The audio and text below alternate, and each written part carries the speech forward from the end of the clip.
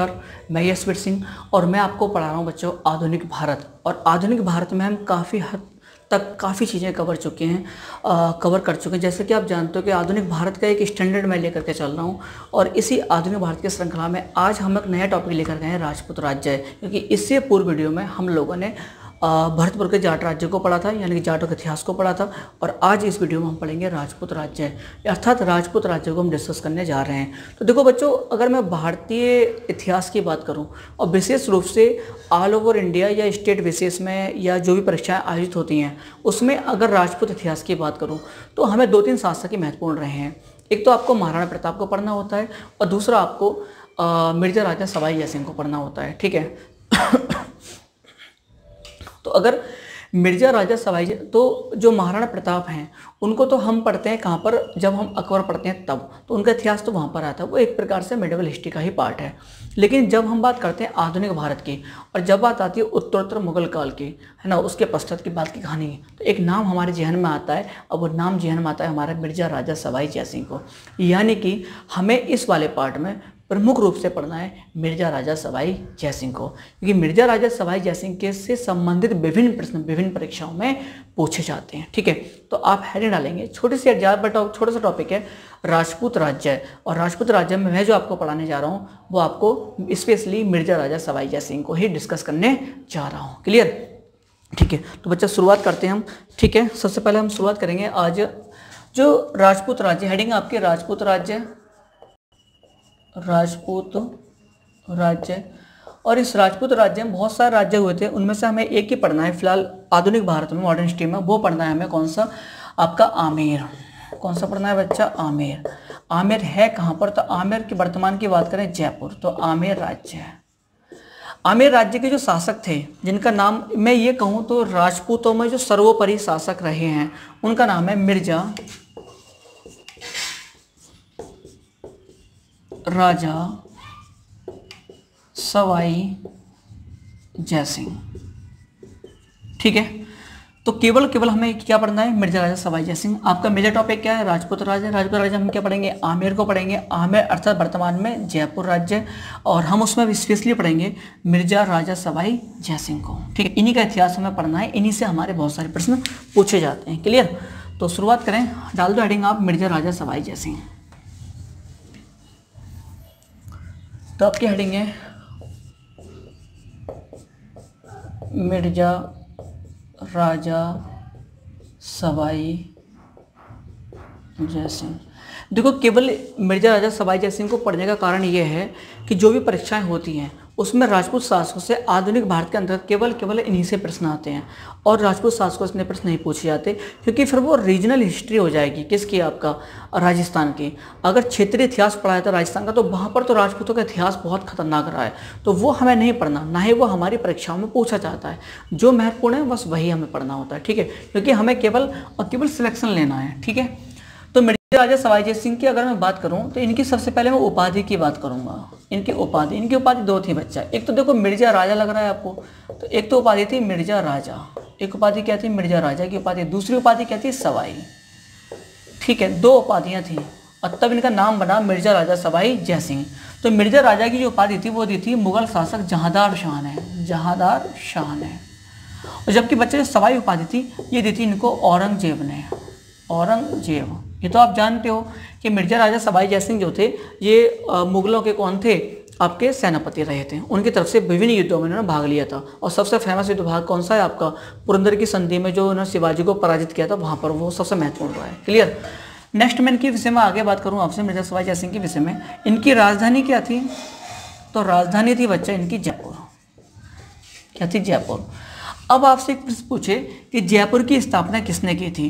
तो आपको याद होना चाहिए कि जयपुर की स्थापना मिर्ज़ा राजा सवाई जय सिंह ने ही की थी। तो जयपुर का संस्थापक कौन है? जयपुर के संस्थापक तो आप कह दोगे, राजा जय सिंह। ठीक है, कब हुई थी इसकी स्थापना जयपुर की? तो वन सेवन टू सेवन में सत्तर सत्ताईस में स्थापना की गई थी।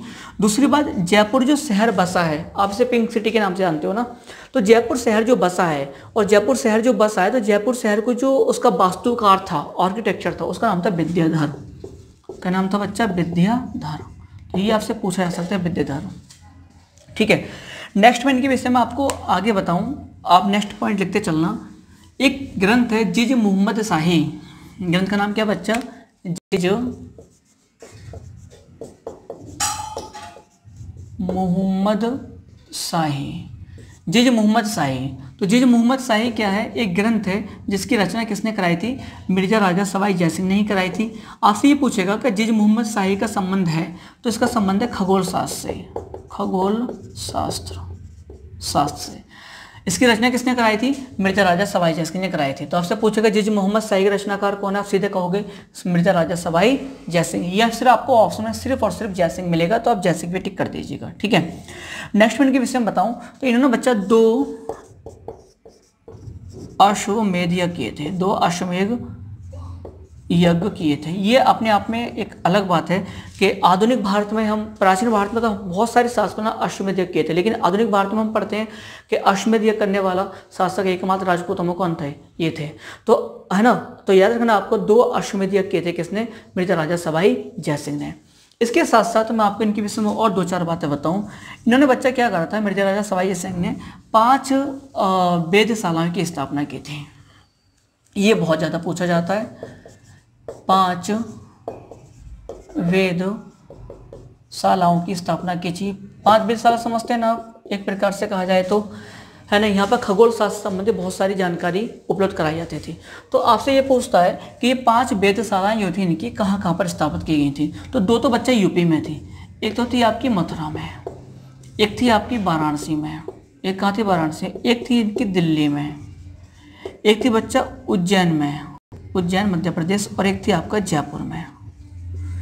तो इन्होंने कुल मिलाकर के पाँच वेधशालाएँ स्थापित की थी। यहाँ खगोल शास्त्र से संबंधित विभिन्न जानकारियाँ उपलब्ध कराई जाती थी। क्लियर तो इन पाँच को रट लेना बहुत ज़्यादा पूछी जाती हैं। ये देता है निम्नलिखित में से किस स्थान पर है ना?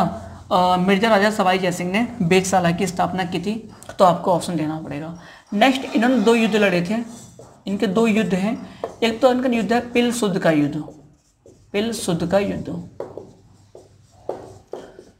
1715 में हुआ था। ये जो थे इन्होंने इसमें क्या करा था? पिल्स युद्ध में मराठों को मराठों को पराजित किया। मराठों को पराजित किया। फिर एक बच्चा युद्ध हुआ था, मंदसौर का युद्ध। मंदसौर का युद्ध। और ये हुआ था 1733 में। इसमें क्या करा था? मराठों ने, है ना, जयसिंह को, राजा जयसिंह को पराजित किया। हरा दिया था। एक बार जीते, एक बार हारे थे। क्लियर और इनके विषय में बच्चा, बस इतना ही काफ़ी है। इनके विषय में और कुछ नहीं है। ठीक है?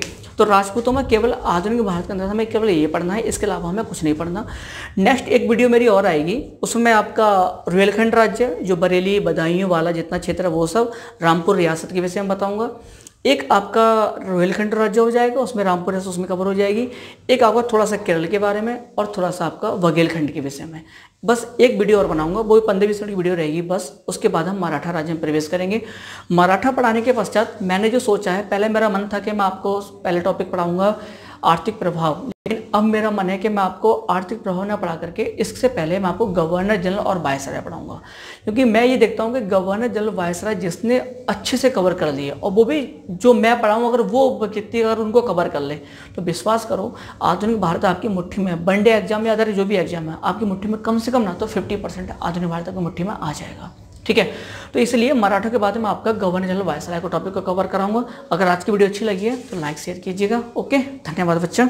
बहुत बहुत धन्यवाद।